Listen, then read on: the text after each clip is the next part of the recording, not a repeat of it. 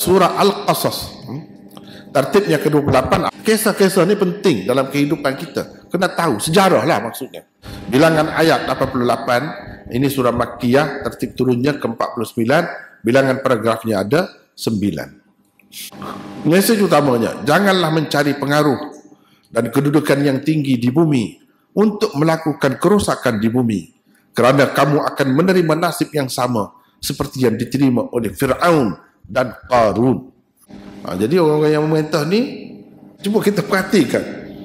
Saya lebih tertarik eh cara ni ni cuba kita perhati. Nampak sangat Islam ni satu agama yang menjaga pemerintahan. Kuasa pemerintah. Sangat mengambil berat tentang itu. Maknanya secara tidak langsung ini bermakna agama Islam ni agama politik sebenarnya. Ajaran Quran ni. Tapi orang tak nampak.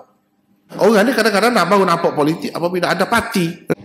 Apabila ada bendera, itu saja. Sebenarnya, kalau kita perhatikan Quran, apa kandungan dia? Daripada awal sampai akhir. Duduk, duduk cerita tentang pemerintahan. Tentang pemerintah yang baik, pemerintah yang zalim, macam mana kerajaan itu nak jadi baik, Berapa banyak pengajaran daripada Al-Quran ini. Tapi kadang-kadang orang mengajar tu oleh kerana metod yang diguna tu macam sesoalannya Al-Quran ni tak ada cerita benda tu. Padahal cerita Raja Sabak ni siapa? Dia tu siapa? Dia tu raja. Raja bermakna ada ada kerajaan dia. Ada negara dia. Dia fikir tentang keselamatan dia. Kalau dia lawan Nabi Sulaiman, dia cerita ada.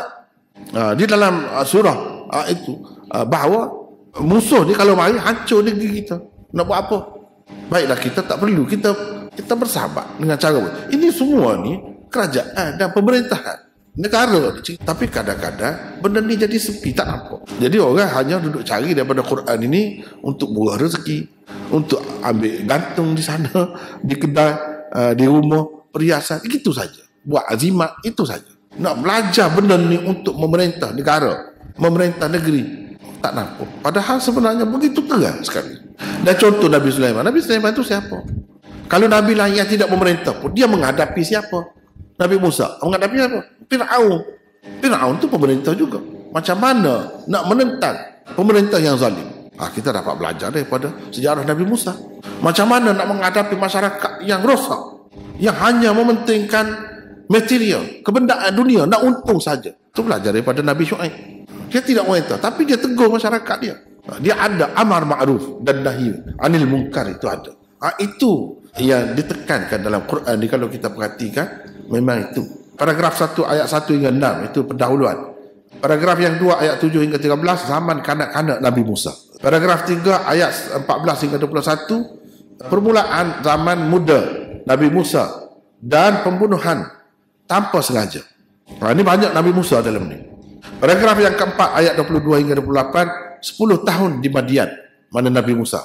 Paragraf yang kelima ayat 29 hingga 42 dilantik menjadi nabi, mencabar Firaun dan akibatnya. Paragraf yang keenam ayat 43 hingga 60 bicara dengan Rasulullah dan amaran kepada kaum Quraisy. Paragraf yang ketujuh ayat 61 hingga 70 dalil-dalil tauhid paragraf yang ke-8 ayat 76 hingga 82 kerjasama di antara kapitalis Qarun dengan kerajaan Tagut ha, kerajaan Fir'aun itu lah. yang sebenarnya kalau kita belajar kalau kita kaji tengok Qarun itu siapa kadang-kadang kita rasa oh, cerita lama kapitalis dia tu bangsa apa bangsa Bani Israel kerana duit banyak dia boleh bersama Fir'aun pun boleh bersama Fir'aun walaupun bangsa lain walaupun Fir'aun ni anti Bani Israel tapi kerana duit banyak Anilah yang beri modal bagi modal kepada kerajaan tu. Itu cerita penutup. Akibat mencari pengaruh di bumi. Seperti Qarun itu. Akhirnya dia ditelan bumi. Habis segala rumah dia, harta dia tu. Sehingga sekarang ni kalau temu harta dalam tanah tu eh, orang kata harta Qarun. Di Malaysia ni pun ada harta Qarun. Bila pula Qarun buat rumah sini? Eh? Hmm. Nak ceritanya banyak harta dia tu. Jadi sehingga yang ditemui eh, dalam tanah tu mana-mana tu orang kata harta harta harta karun. Sampai begitu sekali. Zaman diturunkan. Satu surah Al-Qasas diturunkan selepas surah Asy-Syu'ara dan An-Nam. Di peringkat ketiga kehidupan Rasulullah sallallahu alaihi wasallam di Mekah antara tahun ke-6 hingga ke-10 kenabian. Kenapa dia pada masa itu dia cerita kepada orang Quraisy ni banyak cerita Nabi Musa? Sebab ahli kitab ni selalu dihubungi oleh orang-orang kafir Quraisy Mekah ni. Mereka kata betul ke cerita macam ni ni? Ha, betul lah. Ha, mereka tahu lah. Sebab apa Bani Israel ni boleh dikatakan selamat etnik tu. Kerana Nabi Musa. Kalau tidak habis, habis, hapus. Ha, sampai begitu sekali. Kenapa mereka tak tahu sejarah mereka? Jadi bila tanya, ha, mereka ahli kitab, tu guru. Tanya untuk guru. Ah, apa ni kafir Quraisy tanya. Betul. Jadi betul lah. Hmm. dan sejarah hidup Nabi Musa bila kita belajar apa dia buat? Seperti Nabi buat terhadap kafir Quraisy Mekah tu lah sama. Antara tahun ke-6 hingga ke-10 kenabian ketika itu pemimpin-pemimpin kafir Quraisy diminta mengambil iktibar dan pengajaran daripada akibat buruk yang telah menimpa Fir'aun, Haman dan Qarun. Rasulullah sallallahu alaihi wasallam dilarang daripada menjadi penolong dan penyokong penjenayah-penjenayah dari kalangan kafir Quraisy. Nombor dua, ayat ke-52, innaka la tahdi man ahbabta. Dan seterusnya, turun pada bulan Rajab 10 kenabian ini. Tidak lama sebelum Abu Talib meninggal dunia. Ha, maknanya yang ni agak lewat sedikit daripada yang lain-lain. Sebab yang lain-lain tu uh, di peringkat ketiga. Berkaitan surah Al-Qasas dengan surah sebelum dan selepasnya. Satu, di dalam surah An-Naml yang lalu telah dikemukakan sikap positif Raja Perempuan Negeri Sabah kerana telah menerima seruan Tauhid dan memeluk agama Islam dengan sukarela. Sedangkan beliau sebelumnya adalah pemuja matahari. Di dalam surah Al-Qasas ini pula disebutkan sikap negatif Fir'aun, Haman, Qarun dan bala tentera di bawah pimpinan mereka. Mereka diingatkan supaya mengambil iktibar daripada orang-orang yang telah dibinasakan. Ha, jadi ha, kalau kita tengok itulah sebab lama ha, beribu tahun sebelum Nabi Isa lagi. Kita tengok kalau pergi ke Yaman, tengok Yaman, tak ada apa pun sekarang. Mundur, sangat mundur. Tak ada apa pun kesan-kesannya. Ha, macam itulah nak ceritanya. Kemajuan yang dicapai di sesuatu zaman ni bila lama, tak ada apa. Hancur semua. Jadi tanah. Padahal di situ kerajaan yang hebat dulu. Kerajaan Sabah. Dan sangat maju mengatasi yang lain-lain. Suatu ketika dahulu. Beberapa kata kunci dan tema utama surah. Ulu fil ard. Bermaharaja lela di bumi. Adalah satu istilah khusus di dalam Al-Quran. Ia dikhususkan untuk pemerintah-pemerintah dan penguasa-penguasa yang sombong dan zalim. Penguasa-penguasa dan pemerintah-pemerintah yang tidak ikut kepada Tuhan yang tidak takut kepada Tuhan tidak menghiraukan Tuhan bahkan cuba menjadi Tuhan. Dengan merampas kuasa yang khusus dengan Allah dan menggunakannya dengan sewenang-wenang. Itulah maksud ulu fil ard. Ha, juga merupakan mesej utama surah ini. Maknanya dalam dunia ni ada yang macam ni. Kalau kita berada di tempat tu ha, ujian lah. yang kita akan terima ujian lah. ha, tengok di China Uyghur tu apa jadi bangsa tu. Apabila berada di bawah pemerintah-pemerintah yang macam ni dia tak percaya kepada Tuhan. Tuhan dia sendiri lah. ha, ini kan orang komunis dia tidak percaya kepada Tuhan. Jadi Tuhan sendiri. Apabila jadi Tuhan sendiri macam ni. Ha, tengok. Dahsyat lah sekarang ni kalau tengok dalam berita-berita dalam surat khabar apa semua tu betapa dahsyatnya orang Islam di sana. Ha, diuji. Ha, inilah jadinya. Jadi kena sedar ada kerajaan-kerajaan yang macam ni ni sentiasa ada dan kita sepatutnya orang Islam jangan sekali-kali jadi begitu. Sebab kita litakunu syuhada ala nas. Jadi contoh kepada orang-orang lain. Ha, kalau kafir ha, memang adalah daripada dulu sampai sekarang ni pun ada.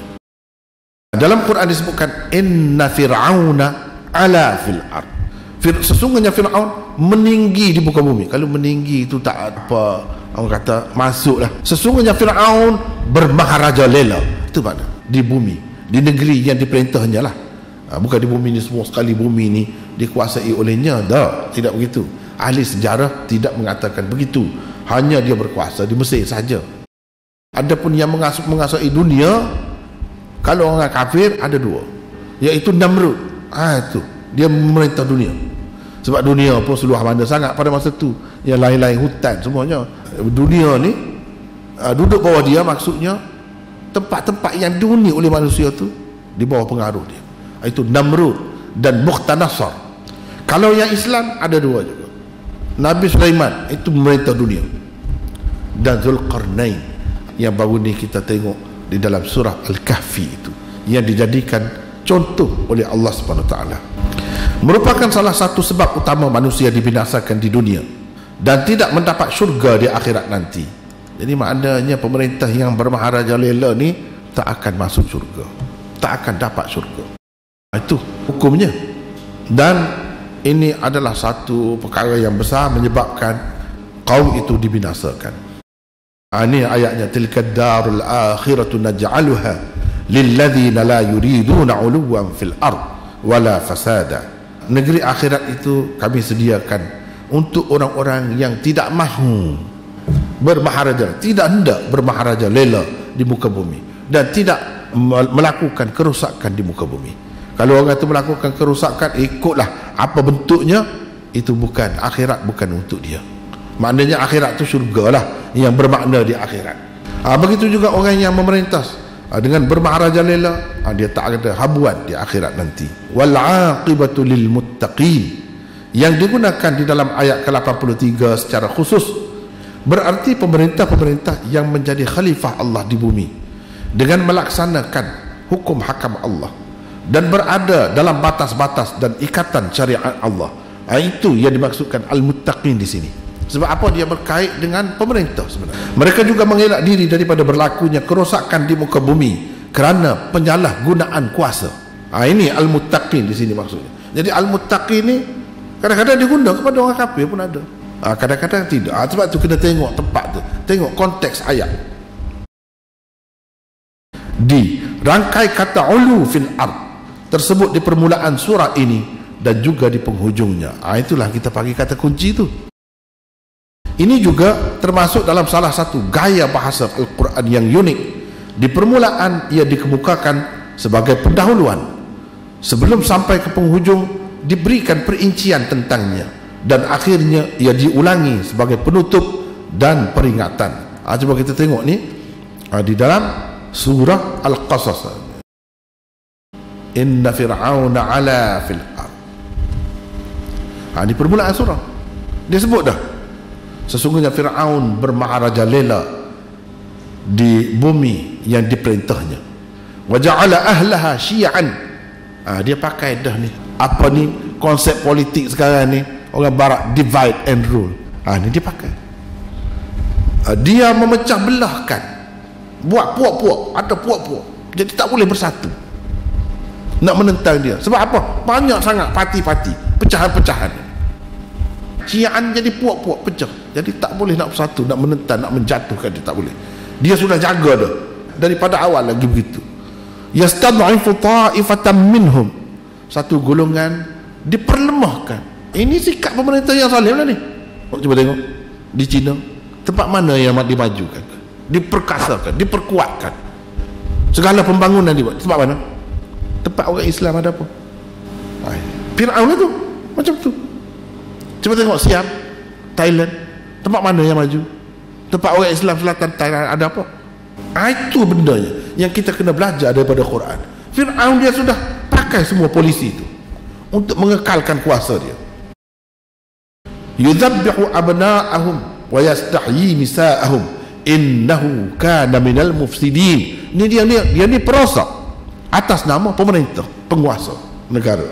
Jadi perosak ni tidak semestinya perompok ke apa ke, gangster ke, tak mesti. Pemerintah kadang-kadang duduk atas takhta, atas kerusi, disanjung, dipuja, dipuji pun boleh jadi perosak juga.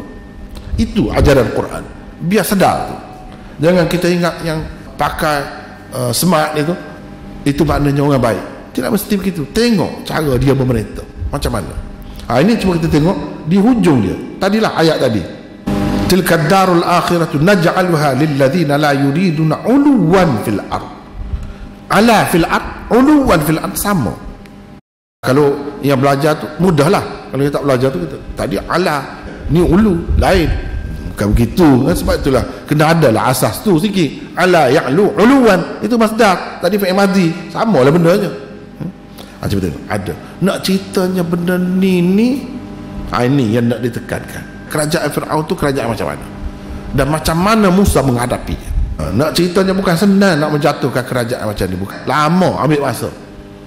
Istikbar fil ard. Juga merupakan satu istilah khusus Al-Quran.